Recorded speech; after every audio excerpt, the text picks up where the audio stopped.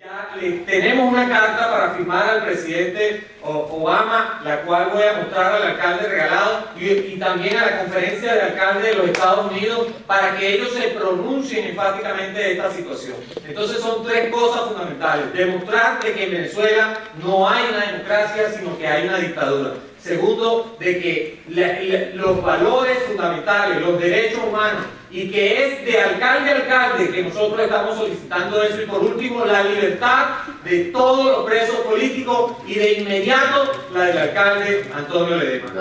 y no podemos permitir eh, que Venezuela se convierta en una cárcel gigante para aquellos que fueron llevados a las alcaldías y a las gobernaciones por el voto popular y democrático. Pero este es el momento en que reaccionen los gobiernos de América Latina. Y enfrentar la dictadura, hay formas de enfrentarla. Hay una forma muy sencilla de enfrentarla.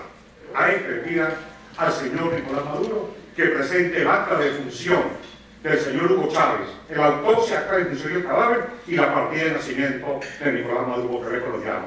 Con eso se abren las puertas realmente a un cambio en Venezuela. Porque el pueblo está dispuesto a eso, el pueblo venezolano está esperando eso, los propios chavistas están esperando eso. Y por eso es que esa represión masiva, porque el propio chavismo está descontento contra el gobierno de Maduro y las instituciones están esperando ese paso, ese apoyo para buscar y derrotar esta dictadura a un breve plazo. El gobierno venezolano se ha desenmascarado, ha sacado su cara, su verdadera cara de dictador en el, en el país de Venezuela. No tenemos duda de eso, vamos a seguir pronunciándonos, vamos a buscar por todos los medios pacíficos de que eh, se logre eh, un, un cambio en Venezuela y que verdaderamente la democracia vuelva a renacer y que cualquiera que venga tenga un plan estructural social y económico que vaya de acuerdo con las necesidades de Venezuela y que verdaderamente se vuelva a reimpulsar esa gran nación que verdaderamente tiene un potencial extraordinario.